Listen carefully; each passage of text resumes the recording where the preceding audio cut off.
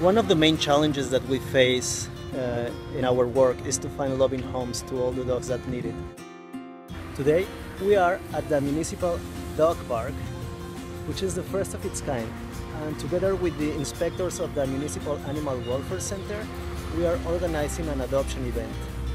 During the sunset, we set up a tent and some tables to provide all the information and adoption forms to the people.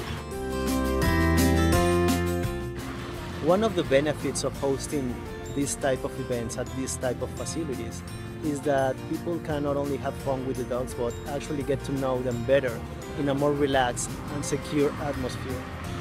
Because of our experience organizing adoption events, the Municipal Animal Welfare Director contacted us to support them on the organization of this event. Even that this is the first time that we organize this event, uh, we have had a good response from the community.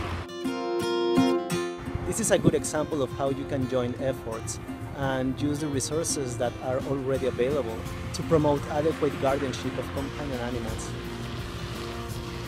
We truly want to congratulate all the staff from the Municipal Animal Welfare Center for making this possible and making this extra effort for these dogs.